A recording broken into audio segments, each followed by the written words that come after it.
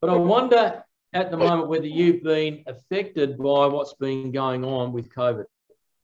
I find there are a lot of things that Satan is using to try and divide the church and divide his people. I think there's a lot of things that he's using to divide the uh, not just the the people of, of the church, but families are being divisive. And uh, we need to be careful of that because the word of God says that we are to try and maintain endeavor to keep the unity of the faith. Mum was saying someone was being nasty. We need to be careful when we're looking at preference rather than doctrine. We need to be careful when we're looking at personality and make sure that that does not become a problem. We need, because look, let's face it, sometimes it's hard to love the unlovable, but we need to love them. God says that we need to love our enemies. Husbands are, are to love their wives, even as Christ loved the church. That's the way it's to be. That's the way the Bible says it to be. But be careful in this day and age and in this climate that we don't have that division among ourselves. We need to endeavor to keep the unity of the faith. There's enough division between the saved and the unsaved.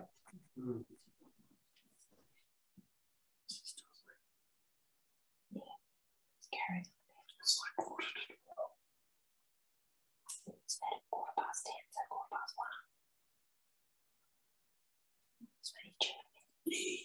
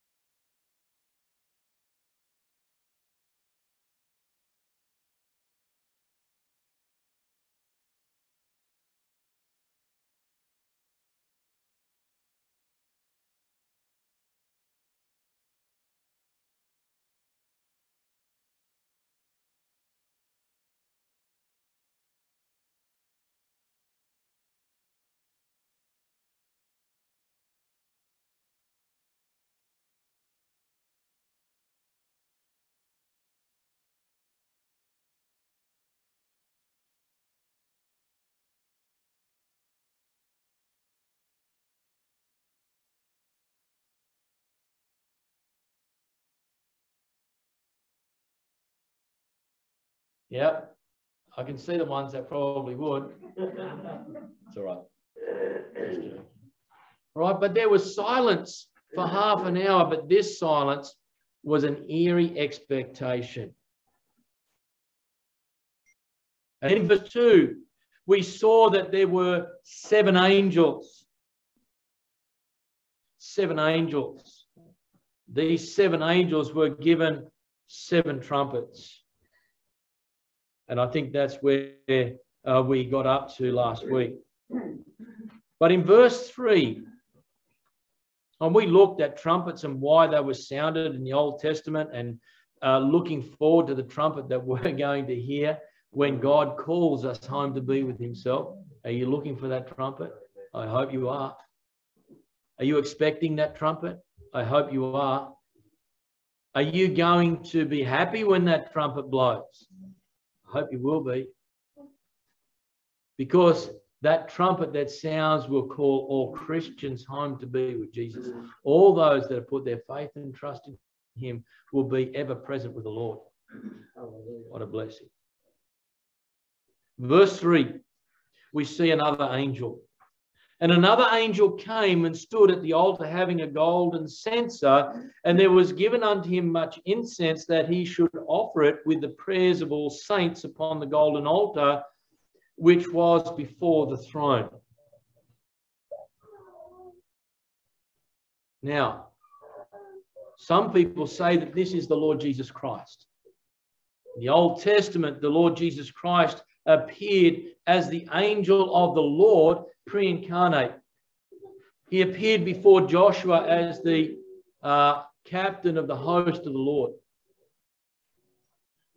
He appeared before Abraham in the wilderness. He appeared many times to different ones, appeared before Jacob, wrestled with Jacob. In the Old Testament, he appeared and we know that in the New Testament that he is the great high priest. And this seems to be a mediatory priestly role that this angel is performing because he has the incense and he's offering up the prayers of the saints with the smoke.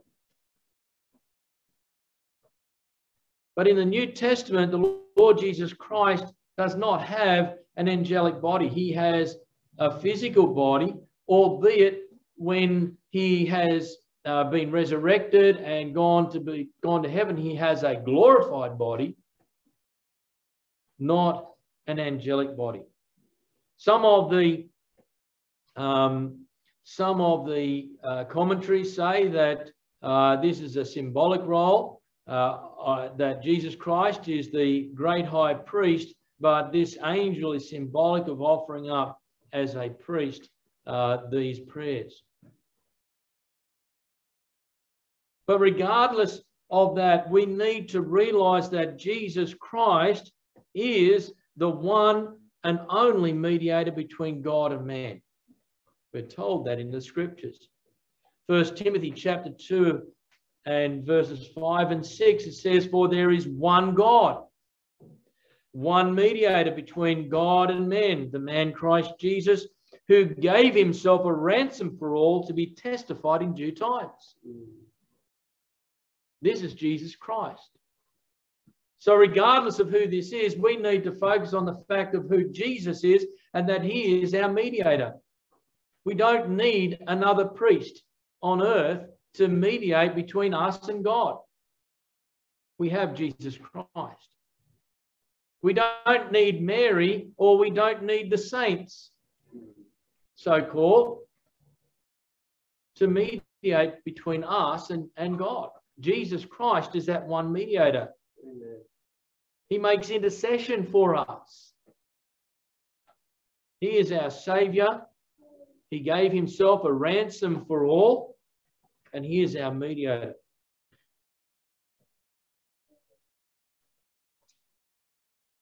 But whether this is Christ or whether this is some other angel, an angel of the same kind, a lot of commentaries say, regardless of that, we see that this relates back to the Old Testament where the, um, where the priest would take coals from off of the brazen altar in the courtyard that I talked about today, then where they did the sacrifices, and he would put that into a censer and he would put incense on that, a special incense that was uh, the, the uh, recipe was given by God, and they would then take that within the veil.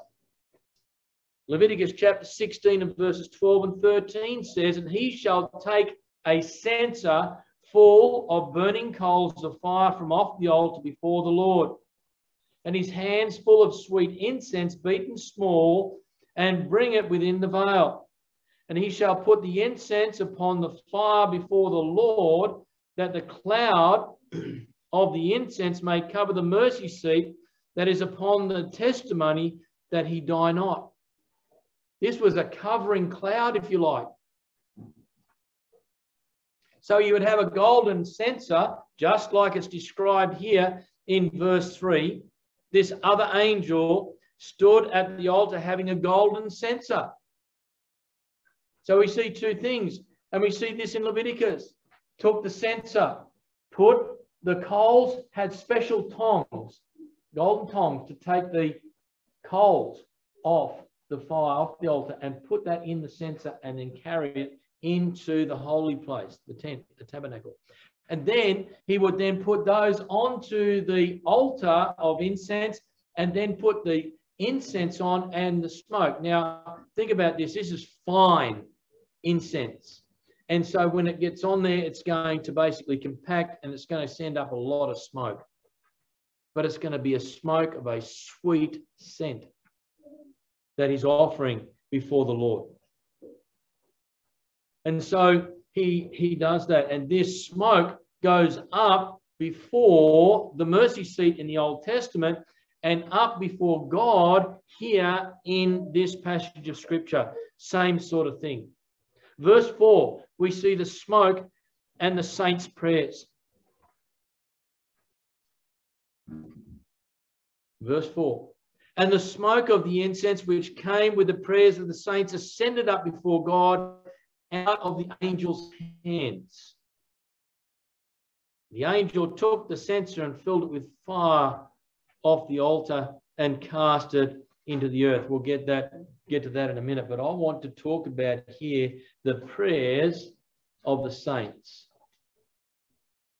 I believe the tribulation saints. I believe the saints of this day and age also offered up before the Lord. Now, I just want you to know this that I'm not talking about saints like the Catholics or other religions might see saints.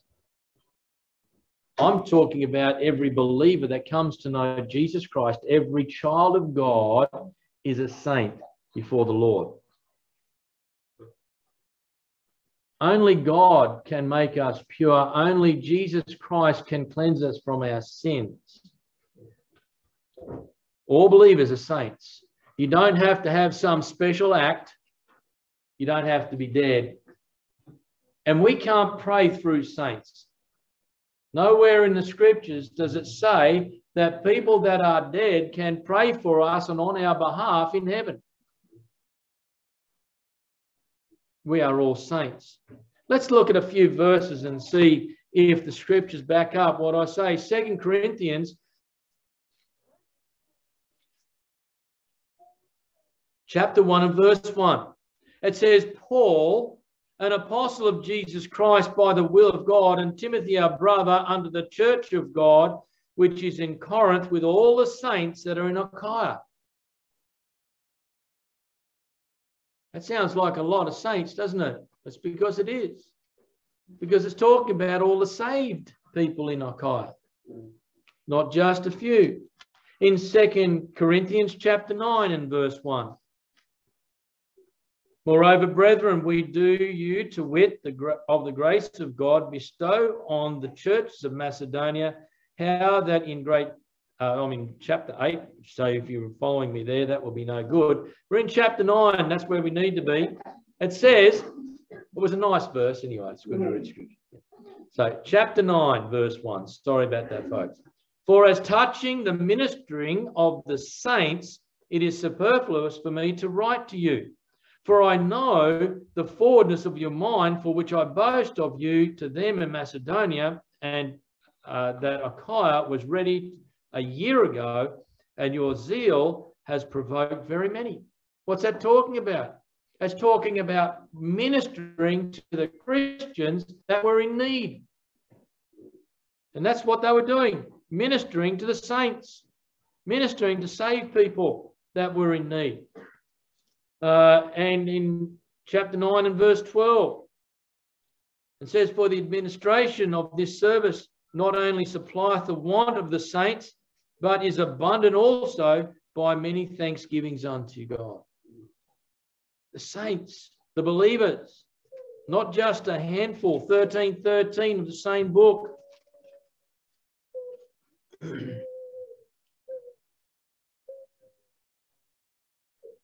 Verse 12 is not very COVID safe. It says, greet one another with a holy kiss. Okay, we can't even shake hands, but that's okay But it says in verse 13, all the saints salute you. All the believers that were with Paul salute you. If we look in Philippians over a few books, Philippians chapter 4.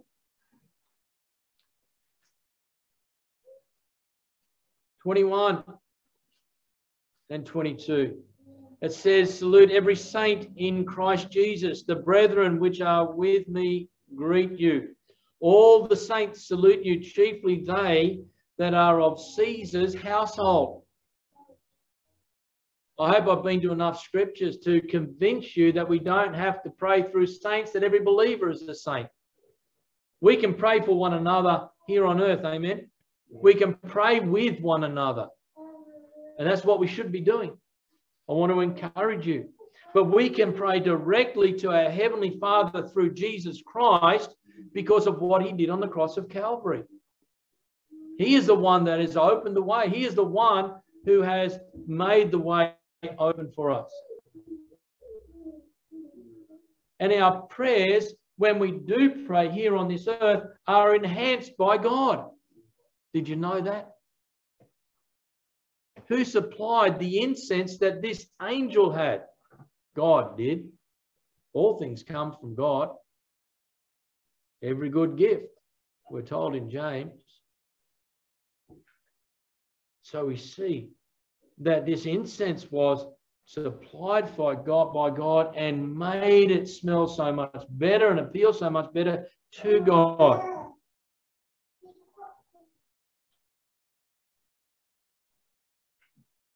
We need to be praying to God. But what should our prayer be? We are told in First John that we should pray along with the will of God, according to the will of God that if anything is according to the will of God, then He will hear us. And our prayers are important to God. Does that mean we can change things that happen by prayer? Can we, through God, beg for Him to change circumstances? I believe so. Even though God is sovereign and God has got everything mapped out. And what God says will happen, will happen. Amen? Yes. If God says that Jesus Christ is going to come in the clouds, is Jesus Christ going to come in the clouds? He is. Amen.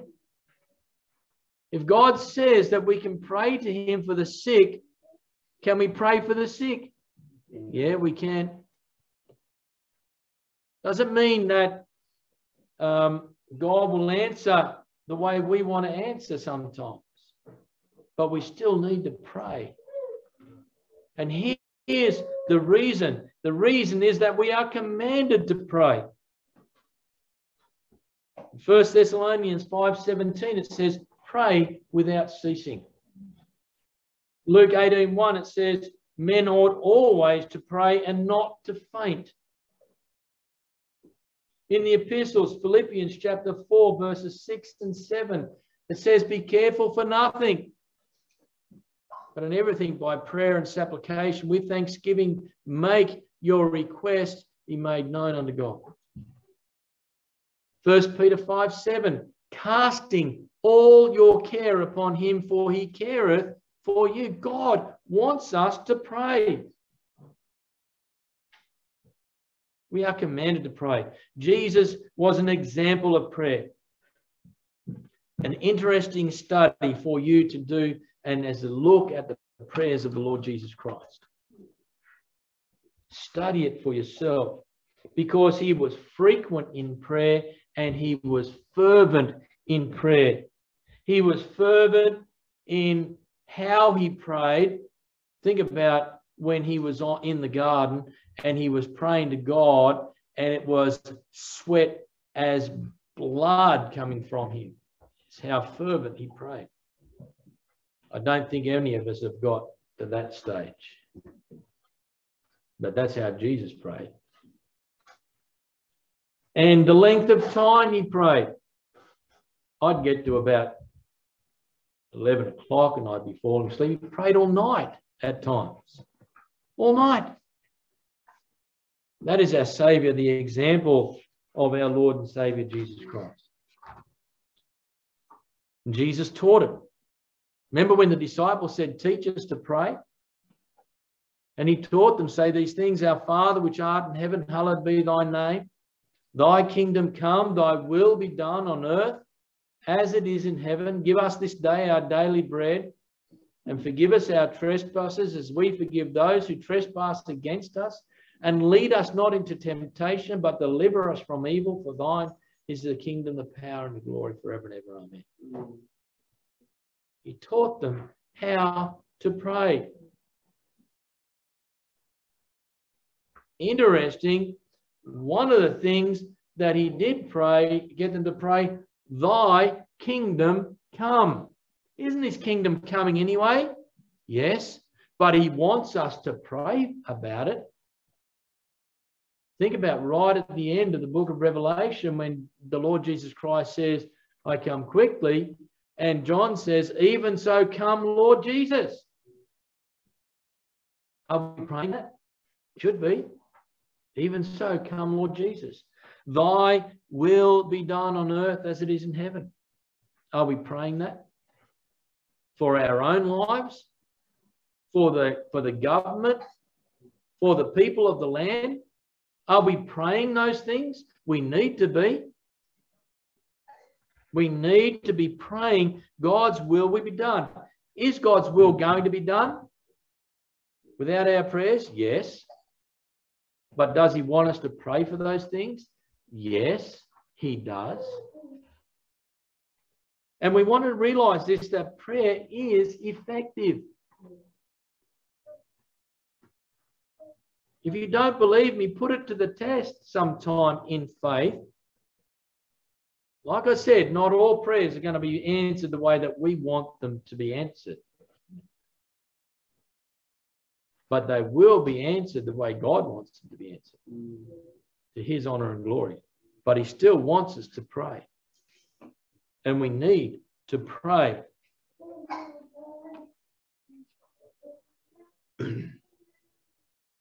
he is an omniscient God. He is an omnipotent God.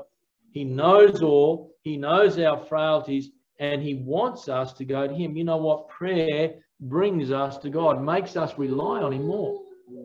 That's what we need to be doing in every situation. Are we relying on Or are we getting anxious about things? Are we being careful about things? Are we worrying? Are we caring too much about things and not giving them over to God? Because that's what we need to be doing. And think about this that these prayers are a sweet savor to the Lord. That puts a whole new aspect on, on our prayer life. God listens to us when we pray. James chapter 4, verses 2 and 3, it says, Ye lust and have not, ye kill and desire to have and cannot obtain, ye fight and war, yet ye have not because you ask not. Ye ask and receive not because you ask amiss, that ye may consume it upon your lusts. You see, sometimes we don't get what we want because we're asking the wrong thing. We need to ask the right thing. We need to ask it as uh, believers, and we need to ask it in faith. We need to ask it uh, with a pure heart. Matthew chapter 7 and verse 7 Ask and it shall be given unto you, seek and you shall find, knock and it shall be opened unto you. It goes on and talks about the fish and the serpent, etc. We need to be the fact that if we have a, a earthly father who will give us good things, we have a heavenly father who will give us even better things. In James chapter 5 and verse 14, when it talks about prayer, it talks about those that are sick, that the elders of the church let them pray over them, anointing with oil in the name of the Lord. The prayer of faith shall save the sick, and the Lord shall raise him up. And if he have committed sins, they shall forgive him. Confess your faults one to another and pray one for another that ye may be healed. The effectual, fervent prayer of a righteous man availeth much. You see, we need to do these things. We need to pray and have that total reliance on God for everything. You see, we are responsible to pray to God according to his will. And I want to ask you have we lost fervency to witness for the Lord Jesus Christ? You know, God is not willing that any should perish. That's God's will. Are we praying for souls? Are we praying for the unbelievers in our family? Are we praying for the unbelievers around us? Are we doing it enough? I think if we start praying for them earnestly, that we'll want to witness to them more. That's what happens. As we pray for people, then we want to, they're, they're on our mind more when we're praying for them. I want to encourage you for one unsaved person to pray for them fervently this week. Pray for opportunities. Think of someone right now that you could pray for. Pray for them earnestly this week. Pray for opportunities that you might be able to share the gospel. You know, you might get a little bit disappointed with their reaction, but that's okay. Our responsibility is to pray for them. Our responsibility is to witness to them. Mm. It is God's responsibility to save them. And you know what? If you keep praying for them, it might be 40 years later and they come to know the Lord. It's happened. It's happened. God is not willing. That is the will of God that any should perish. Have we lost our thankfulness? Are we, are we really thankful to God? You know, it tells us in the Word of God that giving thanks to God and being thankful to God is His will. This is the will of God concerning you, we're told in the book of Thessalonians. I want to, I want to encourage you this week to think of a few things that you can be really thankful for and pray to God and thank Him for those things regardless of the situation, be thankful for something this week. Maybe a few things. Have we lost the desire to grow and to be sanctified? In 1 Thessalonians chapter 4 and verse 3, it says, For this is the will of God, even your sanctification, that you should abstain from fornication. The will of God that we should be sanctified. It goes on, talks about a lot of other things. But we need to realize that we need to desire to grow in the Lord. Grow in grace and the knowledge of our Lord and Savior Jesus Christ. Do you pray to God that you will grow in the Lord? I know I've been slack in this area a lot, and we need to pray because when we're praying about something, our focus will be on that. Our desire will be towards that. Are you watching? Are you watching for the return of the Lord Jesus Christ? I tell you what, in this day and age, if we're not, you know, we've got our ears turned off and our eyes closed because the signs are there.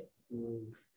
But you know what? If we're praying about Jesus' coming, even so, come Lord Jesus, like I quoted in the book of Revelation, then we are going to be focused on that. We are going to be watching for that.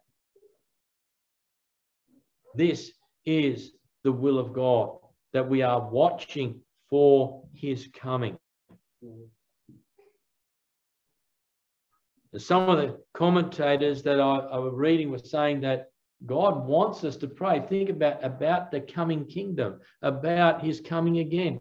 His, you know, thy kingdom come in the in the Lord's Prayer. If we're praying about it, will it hurry it along? I don't know. But definitely, God wants us to pray about his kingdom and his coming kingdom. and desire it for coming to come in.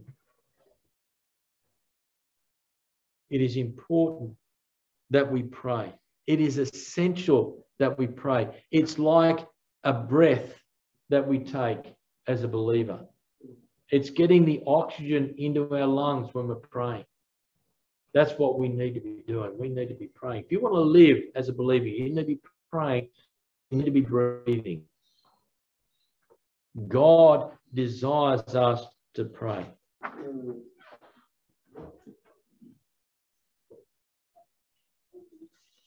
Last point, and I'm going to do this quickly, is in verse 5 of Revelation chapter 8. And I've looked at the clock and it says 11 o'clock, so I've only just started the service, so that's okay. Like I was saying today, what does it mean when the pastor puts his watch up there? Nothing. Is that right, Lottie? Yeah. All right. Okay. Verse 5. And the angel took the censer and filled it with fire of the altar and cast to the earth, and there were voices and thunderings and lightnings and earthquake. Silence was broken. Remember, up until this time, there was silence in heaven. The angel takes the censer and puts some more fire in it and then throws it, hurdles it towards the earth.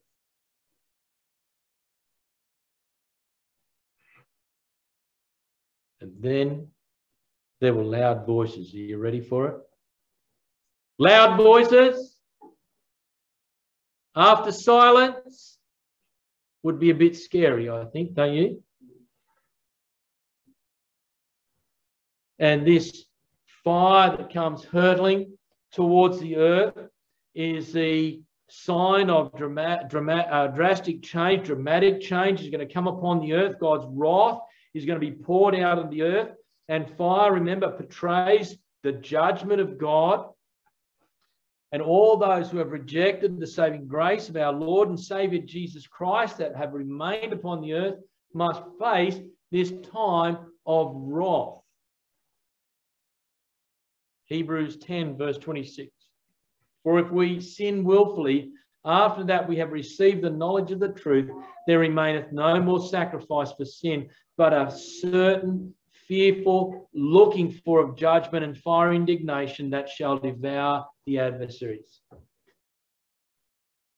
you're here this morning, or if you're listening on the video this morning, if you have rejected Jesus Christ as your Savior, then you only have a fearful looking for the judgment and fire indignation of God. People don't like to hear that. But the wrath of God will abide upon you if you do not trust in Jesus Christ as your Savior. If you're scared, good. Because it will be nothing but scary.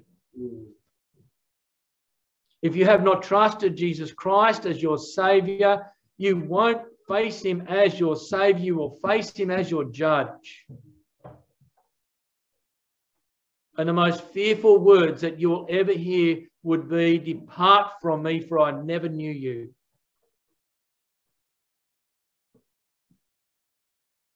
We were talking about division and COVID earlier. This is the greatest division the saved and the unsaved. Those that have trusted in what Jesus Christ did on the cross to save them from their sins, and those that have not. Whether it be, I don't care, don't want to do anything about it, or whether they've openly rejected Jesus Christ as their Saviour, they are going to face the wrath of God. And not just for a short time. The Word of God tells us that it is for eternity.